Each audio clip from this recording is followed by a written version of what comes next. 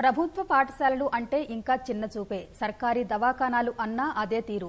అన్ని వనరులు ఉన్నా సిబ్బంది నిర్లక్ష్యమే అందుకు ప్రధాన కారణమనే వాదనలు ఎవరూ కాదనలేనివి.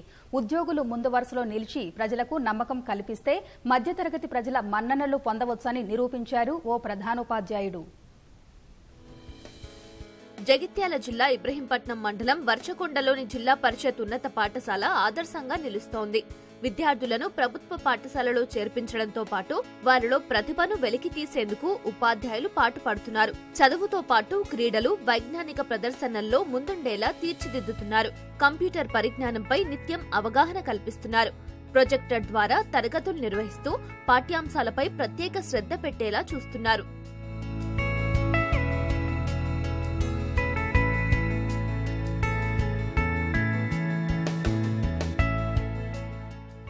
జెడ్పీహెచ్ఎస్లో నూట నలభై ఐదు మంది విద్యార్థులు చదువుతున్నారు.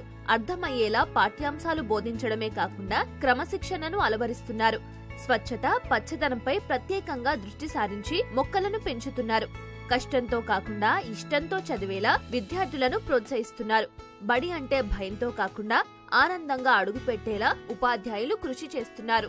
సిక్స్త్ క్లాస్లో నాకు ఇక్కడ స్టడీ ఏం బాగా అనిపించలే నేను ప్రైవేట్కి వెళ్తాను అనుకున్నాను ఇప్పుడు చాలా బాగా అనిపిస్తుంది. కంప్యూటర్ ల్యాబ్ కానీ కంప్యూటర్ సైన్స్ కానీ గేమ్స్ కూడా చాలా బాగా అనిపిస్తుంది.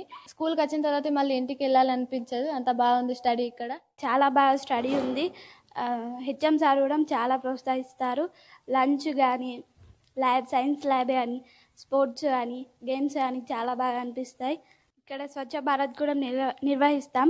స్కూల్లో వచ్చిన తర్వాత ఇంట్లో కన్నా స్కూల్లోనే హ్యాపీగా ఉంటాం మేము ఎక్కువ. స్కూల్లో కూడా మా అందరు టీచర్స్తోని ఫ్రెండ్లీగా ఉంటాం.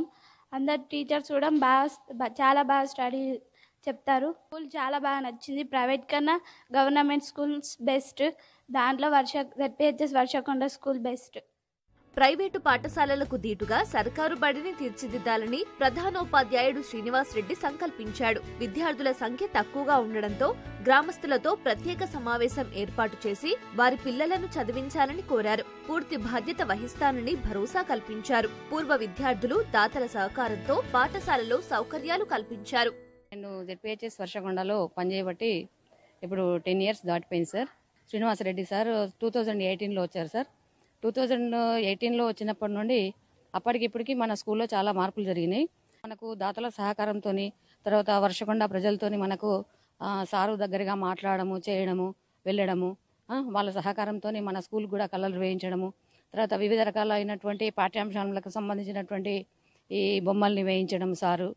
ప్రధానోపాధ్యాయులు గారి మాటతోని మేమందరము ఉపాధ్యాయులం అందరము కూడా సమిష్టిగా కలిసి పనిచేస్తాం సార్. రాష్ట్ర స్థాయి జిల్లా స్థాయి వైజ్ఞానిక ఇన్స్పైర్ ప్రదర్శనలో మేము రాష్ట్ర స్థాయిలో పాల్గొనడం జరిగింది. అలాగే గేమ్స్ విషయంలో జిల్లా జోనల్ స్థాయిలో కూడా మేము రాణించడం జరిగింది.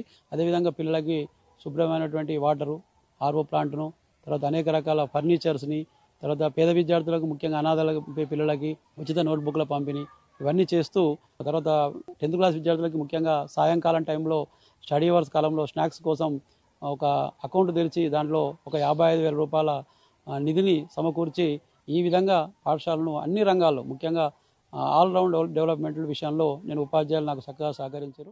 ప్రభుత్వ పాఠశాలలపై చిన్నచూపు పోవాలంటే ఉపాధ్యాయుల కృషి కూడా ఎంతో అవసరమని వర్షకొండ జడ్పీహెచ్ఎస్ నిరూపిస్తోంది.